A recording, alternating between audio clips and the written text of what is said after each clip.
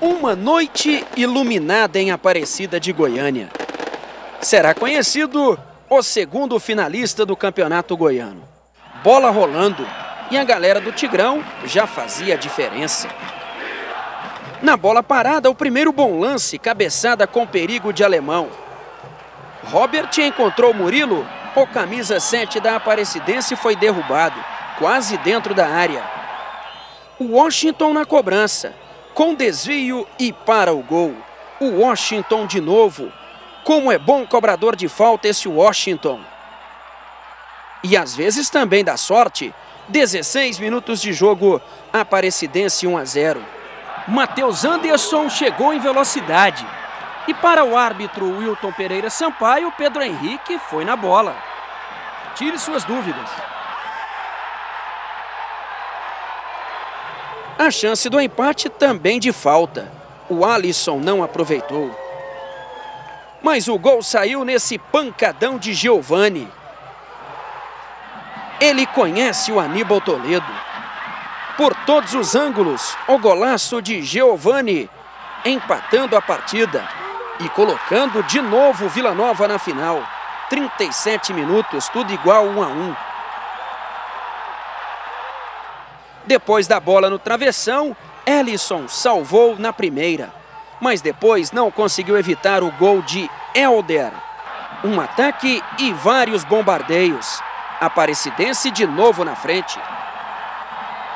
O segundo tempo começou tenso. O Vila precisava empatar novamente. Aos 16 minutos, Matheus Anderson pela esquerda. Ele fez o cruzamento e Moisés no lugar certo na hora certa. Empatou o jogo de novo. Moisés, quinto gol dele no Goianão. 2 a 2 no Aníbal Toledo. Aos 36 minutos, Wilton Sampaio marcou pênalti neste lance. Toque no braço de alemão. A chance da Aparecidense ficar de novo na frente. Responsabilidade de Murilo na cobrança e Ellison defendeu. Acertou o canto evitou o desempate. Ellison se transformando no herói da classificação. E quando o árbitro encerrou a partida, foi uma explosão de alegria. Teve até invasão de campo e o Vila Nova garantiu vaga na final. Quando o Vila chegou à final do Campeonato Goiano de 2005, foi justamente contra o Goiás. Os dois se enfrentam agora na decisão de 2017. Mas aqui em Aparecida de Goiânia, o grande personagem, goleiro Ellison, até se imaginava que ele faria defesas de pênaltis no eventual disputa após os 90 minutos. Mas a defesa aos 38 do segundo tempo garantiu a classificação colorada. Sabíamos que era um jogo difícil e Deus me abençoou no fim com esse pênalti que eu pude pegar. E dá alegria a essa torcida aí que merece. Isso aí não tem preço, ó. isso aí é... A gente tem que levar isso para a final e espero que domingo agora descansar e domingo tem outra pedreira e se Deus quiser vamos sair vitoriosos. Você mas... esperou ele definir o canto? Nós treinamos bastante né, durante a semana. É, eu sou um goleiro muito tranquilo, então é, pude escolher o canto certo e definir. Foi um pênalti rápido, consegui reagir mais rápido que a bola. Felizmente eu consegui a defesa e estamos classificados para a final. Bom, daqui a pouquinho tem mais entrevistas, tem os técnicos, mais jogadores e também dirigentes do Vila Nova e da Aparecidense. Deu Vila, a última final foi em 2005, Jean e Vila Nova e Goiás definem o Goianão a partir do próximo domingo. Boa noite, Wendel. Boa noite, abençoada para você de casa, com muita justiça. Para mim, as duas melhores equipes chegam à final até indo contra aquilo que o Zé Teodoro disse. O Vila foi melhor que a Aparecidense, não apenas nesse confronto, mas durante todo o campeonato. Quando é, teve um embate frente a frente, como se diz por aí, tete a tete, o Vila foi melhor que a Aparecidense nos confrontos diretos. Assim como o Goiás em relação ao Atlético. Basicamente, no jogo de ontem, é, o Vila fez o que precisava fazer, teve muita luta, muita determinação e com certeza teremos uma grande vitória. Hoje o torcedor, de uma forma geral em Goiânia, só falou disso.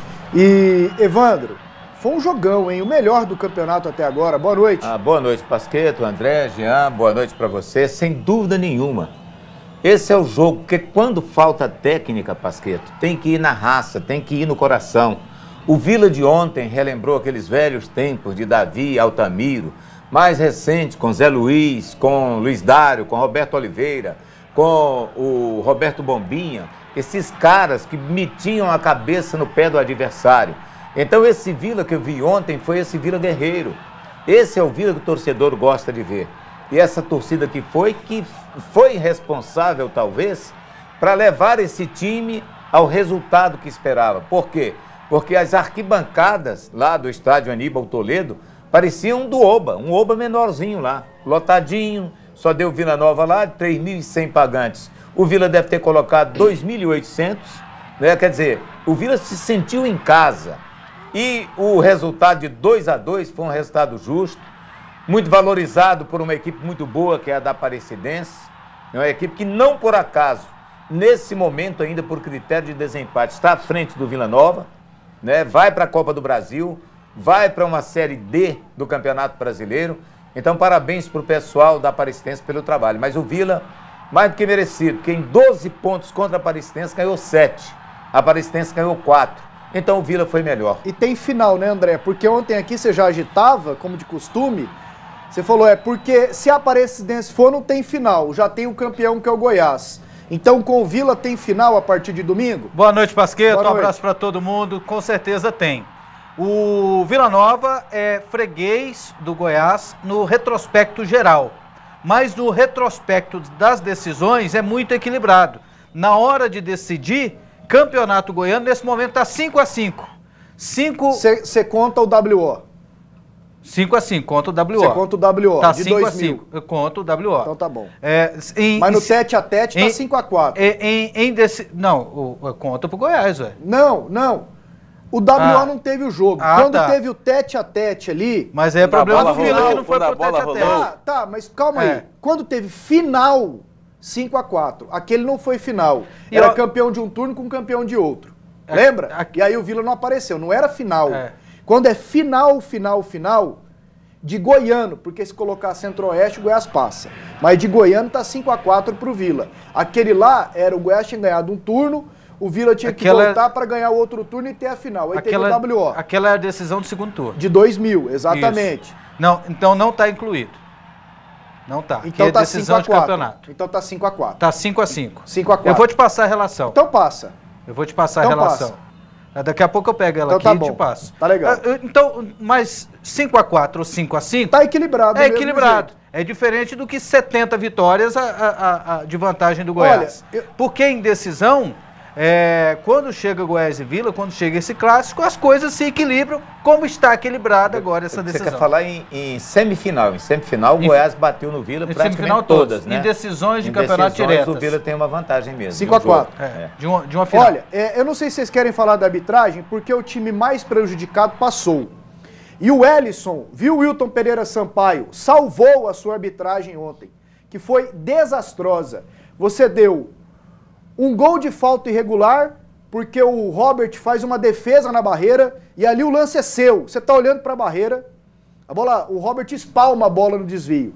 Você deu um gol em impedimento para a Aparecidense. Aí é o Bruno Pires, que está lá com o campo aberto para olhar, o Helder impedido um ano. E você deu um pênalti que não foi, que a bola não pegou hora nenhuma no braço do alemão. Ah, o Moisés estava impedido? Não estava.